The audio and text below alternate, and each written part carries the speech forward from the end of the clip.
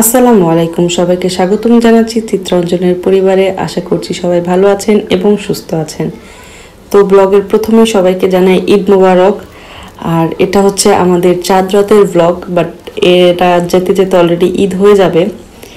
তো ঈদের আগের দিনে আমরা আসলে করোনার ভ্যাকসিন দিতে গিয়েছিলাম। তো সকাল সকাল উঠে ফ্রেশ হয়ে আর কি আগে করোনার ভ্যাকসিন দিতে গিয়েছি। তো ভাবলাম যে আপনাদের সাথে একটু শেয়ার করি। আর এখানে আসলে টাইমলি সবাইকে ঢোকায় আর কি, সবাইকে একটা টাইম দিয়ে দেয়। সে অনুযায়ী ভেতরে অল্প কিছু মানুষ ভেতরে এন্ট্রি দেয়, তারপরে ভ্যাকসিন দেয়। ভ্যাকসিন দেওয়ার পরে আর কি এরকম একটা পেপার দিয়ে দেয় সেকেন্ড সেকেন্ড ভ্যাকসিনটার জন্য। তারপরে অপেক্ষা করায় ওরা কিছুক্ষণ আর কি, অন্তত দশ থেকে পনেরো মিনিট অপেক্ষা করায় যদি আপনার কোনো রিয়াকশন হয় কিনা সেটা চেক করার জন্য। তো আমরা এখানে অপেক্ষা করছি, তো এখান থেকে বের হয়ে আমরা এখন চলে যাব হেলসিঙ্কির দিকে। আমরা হেলসিঙ্কি গিয়ে আর কি কিছু কেনাকাটা করব। আসলে আমার ঈদের শপিং আছে, আমি ঈদের শপিং করতে যাব আমার নিজের জন্য। তো আমরা টিকা দিয়ে আর কি একটু হেলসিঙ্কির দিকে আসছি। আর আজকে আমরা খুব ইন্টারেস্টিং একটা জায়গায় খাইতে আসছি। ভাবলাম যে আপনাদের সাথে একটু শেয়ার করি জিনিসটা। তো আমরা আসলে সুশি খাইতে আসছি। আর এটা একটা জাপানিজ রেস্টুরেন্ট আর এইখানে সুশি নেওয়ার সিস্টেম এরকম টেবিলের পাশে এরকম থাকে। এখান থেকে অনবরত খাবার যেতে থাকে। আর এখান থেকে যে যেটা পছন্দ সেটা এখানে ডোর খুলে এখান থেকে সেটা নিয়ে খেতে পারবে। এই যে সবসময় উপরেও নিচেও এই যে উপরে নিচে খাবার সমানে যাচ্ছে এখান থেকে যার যেটা পছন্দ সে সেটা নিয়ে খেতে পারবে। আর ওদিকে আবার বুফে বুফে খাওয়ারও আইটেম আছে বুফেও আছে অনেক। তো এই ইন্টারেস্ট আসলে অনেক দিন আগে আমি টিকটকে এই জিনিসটা দেখছিলাম। দেখার পরে আসলে খুব ইন্টারেস্টিং লাগছে। তো ভাবছি যে খাব যখন তাহলে এখানে এসে খাওয়া যায় দেখি কেমন জিনিসটা। বুফে থেকে সেই কয়টা সুশি নিয়ে আসছে আর এখান থেকে নিয়ে নিয়ে খেতে পারবে যখন যেটা মন চাবে যেটা চোখে পড়বে ভালো সেটাই খেতে পারবে। তো এই জিনিসটা খুবই ভালো একটা সিস্টেম খুব ভালো লাগছে আমার কাছে। সে অনেক কষ্ট করে খুঁজে এই জিনিস এই রেস্টুরেন্টটা বের করছে। এতক্ষণ আমাকে হাঁটাইছে পাঁচ দশ মিনিট হাঁটায় তারপরে এটা বের করছে। তাকে আমি দেখাইছিলাম অনেকদিন আগে তার খুব ইন্টারেস্টিং লাগছিল জিনিসটা। যার কারণে খুঁজে বের করছে খাওয়ার জন্য। তাই না?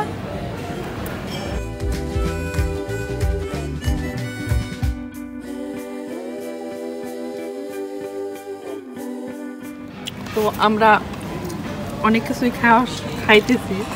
এই জিনিসটা খুব ইন্টারেস্টিং লাগতেছে যে সেইখানে বসছে, আমার কোনো কিছু এখান থেকে দেখে পছন্দ হইলে আমি বলি, আর সেইখান থেকে মাছ ধরার মতো খাবলা দিয়ে ধরে। জিনিসটা খুব ইন্টারেস্টিং কতগুলো জমাইছে আল্লাহ।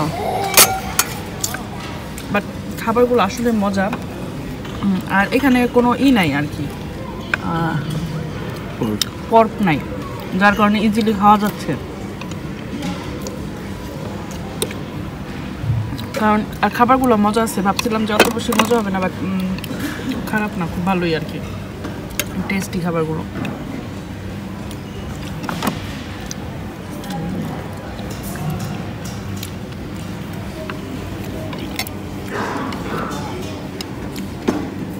বিভিন্ন রকমের সুশি আসতেছে। তারপরে যে সব ধরনের খাবারই আর কি এখানে আসতেছে আর কি। আমি তোমার একটা মোমোস খেতে বলছিলাম আমার জন্য। ওই যে উপরেও ঘুরে ঘুরে আসতেছে আর ওই যে ভিতরে থেকে আর কি খাবার রেডি করে দিচ্ছে আর এখন এদিক দিয়ে আসতেছে আর আমরা নিচ্ছি খাচ্ছি। তাই না? তো আমরা এখন খাই। খাওয়া দাওয়া করে আর কি এই যে ঘুরেছি পরে আমি প্লে না দিয়ে আমি একা একা একা একা কথা বলতেছি। তো অনেকক্ষণ কথা বলার পরে তাকায় দেখি যে আমি রেকর্ডই করি নেই। তো যেটা বলতেছিলাম যে আমরা এখন খাওয়া দাওয়া করি। খাওয়া দাওয়া করে আসলে একটু ঘোরাঘুরি করব। আর হেলসিংকে আসার মেইন কারণ হচ্ছে ঈদের শপিং আসলে ঈদের শপিং করতে আসছি। তারা, তাদের দুজনের জন্য না, আমার জন্য। কারণ তাদের দুইজনে ঈদের ড্রেস আছে। কারণ দেশের থেকে পাঞ্জাবি পাঠাইছে ইকফা ড্রেস পাঠাইছে, তো আছে এগুলো। আর আমার আসলে তাদের দুজনের ম্যাচিং সেম সেম তো আমার আসলে ম্যাচিং আর কি গ্রিন কালারের ভিতর কিছু নাই। আর কালকে সকালে ঈদের নামাজ পড়তে যাব। তিনজনই। তো এর জন্য আর কি চিন্তা করলাম যে যাই দেখি যদি নিজের পছন্দের মতো কোনো ড্রেস পাই তাহলে নেওয়া যাবে। কারণ কালকে ঈদের নামাজ পড়তে যাব একটু সুন্দর, নতুন একটা ভালো জামা না হলে আর কি নিজের কাছেও ভালো লাগতেছিল না। আছে আমার বাট ওগুলোর প্রতি আসলে মন টানতেছিল না বেশি একটা। তো এখন খাওয়া দাওয়া করি। খাওয়া দাওয়া করার পরে দেখাবো কি কি করতেছি আমরা। তো আমরা আসলে একটা, আর কি, এক মার্কেটের থেকে আর এক মার্কেটে যাচ্ছিলাম আর কি রাস্তার ওই পার থেকে এই পারে যাচ্ছি। তো এইটা একটা জয়েন ফ্লাইওভারের মতো। আর এইটা পুরোটুকুতে আর কি বেশিরভাগই এখানে আসলে বেশিরভাগই অ্যারাবিক দোকান। আসলে এই লাইনটুকু সম্পূর্ণ অ্যারাবিকদের আন্ডারেই বলা যায়। কারণ এখানে বেশিরভাগই অ্যারাবিক দোকান। ওদের ওই জায়গায় একটা সুশি সরি সিসার দোকান ছিল। তারপরে এই যে একটা অ্যারাবিক এটা একটা সম্ভবত হোম ডেকোর আইটেম। এখানে অ্যারাবিক থিমের সব জিনিসপত্র পাওয়া যায়, এই যে ড্রেস।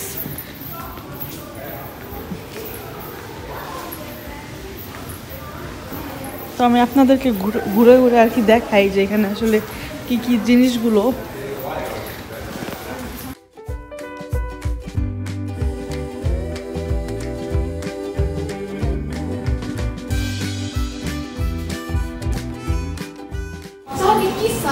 এই যে আমরা রাস্তার এক পার থেকে আর এক পারে যাচ্ছি, এক শপিং মল থেকে আর এক শপিং মলে তো এটা হচ্ছে একটা জয়েন্ট ফ্লাইওভার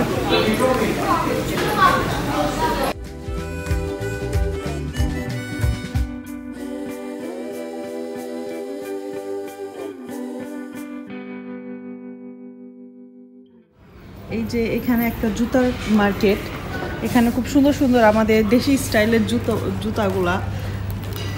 এই যে এখানে ডিসকাউন্টও দিছে আবার কিছু কিছু জুতোর তো এগুলো এখান থেকে ও একটা নেওয়ার চিন্তা করতেছে, কারণ ওর নর্মাল পাঞ্জাবির সাথে পরার মতো জুতা নাই। তো ভাবতেছে যে একটা নিয়ে যায়, নিয়ে যাক। তো সেটাই দেখতেছিলাম আমরা। আর এখানে অনেক সুন্দর সুন্দর। এই যে ভিতরেও অনেক আইটেম আছে। ছেলেদের আসলে অপশন অনেক বেশি।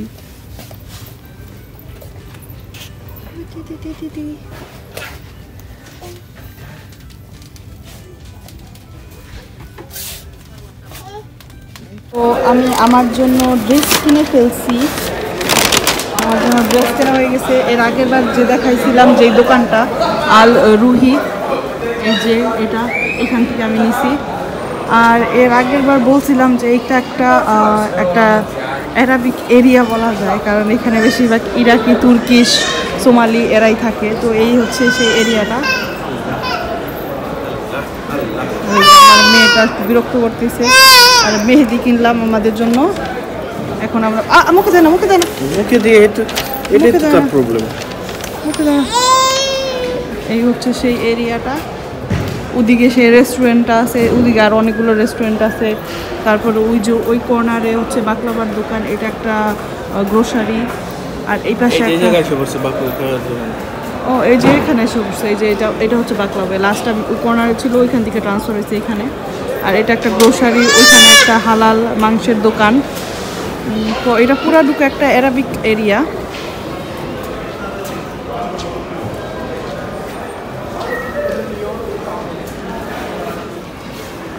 তো এই হচ্ছে প্রবলেম যখন হাঁটা শিখতো না, তখন শুধু বলতাম, একটু হাঁটো একটু হাঁটো একটু হাঁটো। আর এখন হাঁটা শিখছে, আর এখন তাকে ধরাই যায় না। তার আব্বু যারায় ঢুকছে, কিছু জিনিস কেনার জন্য, আর আমি বাহিরে বসে আছি। বাট সে আমাকে না বসতে দিতেছে, না তার আব্বুকে কিছু কেনাকাটা করতে দিতেছে। চলো চলো চলো।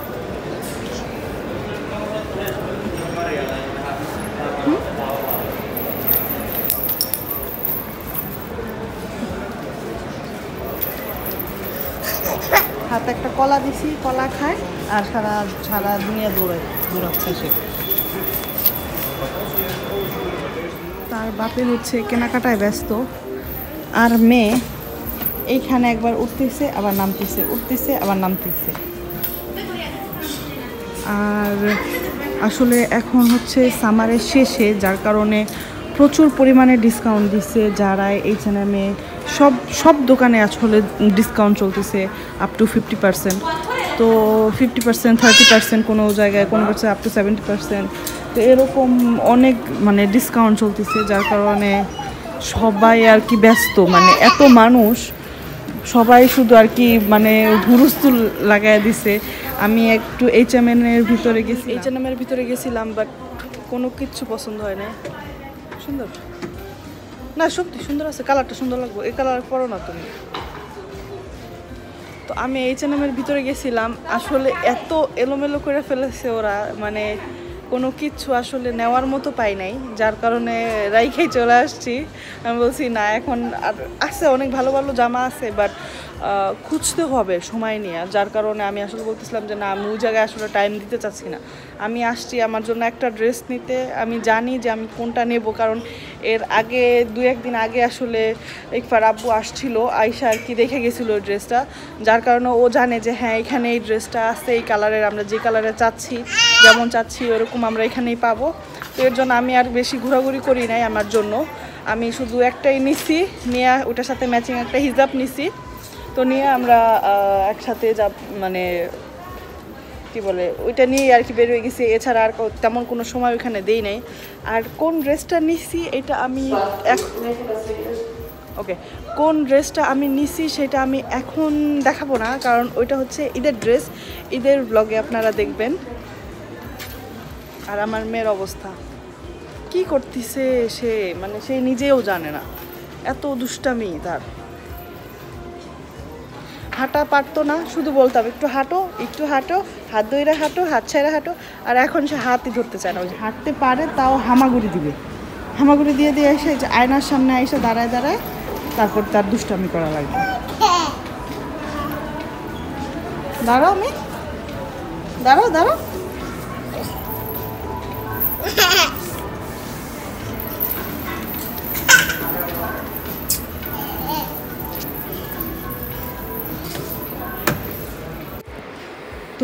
আমরা অনেকক্ষণ আগে বাসায় চলে আসছি। এখন রাত্রে এগারোটা বাজে। আর আমি কালকে সকালবেলা ঈদের সব কিছু আর কি রেডি করে রাখলাম। কে কোনটা করে যাব কী কী লাগবে আমাদের। তো সব কিছু আর কি রেডি করে ফেলছি একবারে। তো এই হচ্ছে আমাদের ঈদের আউটফিট আমাদের তিনজনেরই এবার সবুজ। কারণ ইকফার, এটা হচ্ছে দেশে থেকে পাঠাইছে ইকফার আব্বুর জন্য, এটা ইকফার জন্য দাদু পাঠাইছে। তো এই দুটো ম্যাচিং হয়ে গেছিল আর আমার সবুজ কোনো ড্রেস ছিল না। তো ভাবলাম যে আজকে যাই আসলে নিয়ে আসি, যার কারণে আজকে যাওয়া। তো এই ড্রেসটা আর হিজাবটা আমি নিয়ে আসছি। তো কালকে সকালে যখন ঈদের দিন আমি পরবো, তখনই আপনাদেরকে দেখাবো। আর এই হচ্ছে জিনিসপত্র সব কিছু আর কি রেডি করে ফেললাম। আর আমি কোনো জুতা কিনি নাই ইকফাকেও আস- আসলে ঈদের উপলক্ষে কোনো জুতা কিনা দেওয়া হয় না কারণ কিছুদিন আগেই আর ওর জন্য জুতা কিনছি আর সামার যেহেতু চলে যাচ্ছে এখন আর এক্সট্রা কোনো সামারের জুতা কিনি নাই ওর জন্য। তো এটা পুরানো একটা জুতা আমার ওইটা অনেক দিন পুরানো জুতা জাস্ট আমি একবার পরছিলাম আর পরি নাই। আর ইকফার আব্বু আজকে এই জুতাটা কিনে নিয়ে আসছে ওর জন্য। তো এখন এগুলো সব কিছু গুছগাছ করে এখন আমি ইকফাকে মেহেদি দিতে যাব। ও ঘুমাইতেছে, তো এখন একটু গভীর ঘুমে আছে, ওকে এখন আমি আস্তে আস্তে একটু মেহেদি দিয়ে দিব। তো মেহেদি দি- মেহেদি দিয়ে আমি একটু মেহেদি দিব, তারপরে নামাজ পড়ে আমি ঘুমাবো। তো এই হচ্ছে আমাদের আজকের চাঁদ রাত। তো বারোটা বাজে আর আমি মাত্র মেহেদি দিয়ে শেষ করলাম। খুবই জঘন্য মেহেদি হয়েছে কারণ আমি আসলে এত ভালো মেহেদি দিতে পারি না। কারণ বিয়ের আগে আমার মেজো বোন আমাকে মেহেদি দিয়ে দিত আর বিয়ের পরে আমার ননদ। তো আমি সেরকমভাবে কোনো দিন মেহেদি দিতে পারি নাই। তো যতটুকুই পারছি, ওর ভিতরেই আর কি ভিজি করে দেওয়ার চেষ্টা করছি। আর ইকফাকে মেহেদি দিতে যায় আসলে আমি জঘন্যভাবে ফেল হয়ে গেছি, কারণ ওর ঘুম এত পাতলা, আমি আসলে ওকে, ওর হাত ধরলেও না ও ভাঁজ পেয়ে যায়। তো তাও কোনো রকম একটা হাত কমপ্লিট করছি মানে কোনো রকম আর কি, হিজিবিজি করে। আর আর একটা হাতে দিতে নিছি, তার মধ্যে ও চোখ টোক ডইলা পুরা চোখ মুখ লাল করে ফেলছে। তারপরও কোনো রকম হয়েছে হাত টাত পুরা একদম ল্যাটাব্যাটা হয়ে গেছে, একদম বাজে হয়েছে ওটা তাও আর কিছু করার নাই, এখন আর কি। এরকমই হবে আর কি ওর সাথে। ওরে, ওকে মেহেদি দিতে গেলে এরকমই হবে, কারণ ওর ঘুম খুবই পাতলা।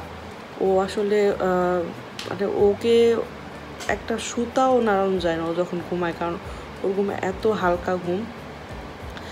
তো এই আর কি আমি ও মেহেদি দিয়ে শেষ করলাম। তো এই ছিল আমাদের চাঁদ রাত, আর ইকফার আব্বু বসে বসে টিভি দেখতেছে, কম্পিউটার দেখতেছে। আর এখন বারোটা বাজে, সারাজান দিয়ে দিছে। আমার হাত অলরেডি শুকিয়ে গেছে, এই পাশেটা শুকিয়ে গেছে, এইটা হালকা একটু শুকাইলে আমি ধুয়ে তারপরে নামাজ পড়তে যাব। তো নামাজ পড়ে একটা ঘুম দিব, ঘুম থেকে উঠে ফজর নামাজ পড়ব ফজর নামাজ পড়ে ঘুমাইতে ঘুমাইতে তিনটা বেজে যাবে।